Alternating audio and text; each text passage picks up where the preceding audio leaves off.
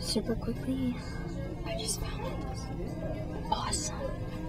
Um, I'm gonna buy it and read the last bonus chapter because it looks good. And then, even better,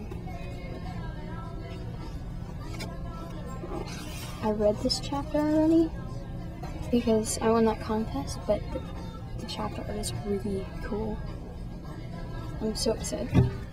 It's really cool.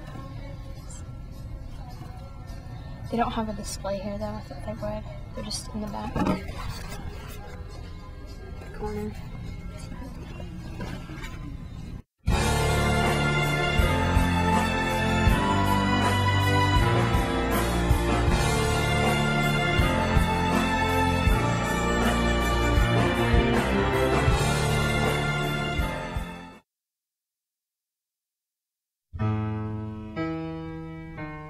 Dreams are nothing more than wishes, and a wish is just a dream you wish to come true.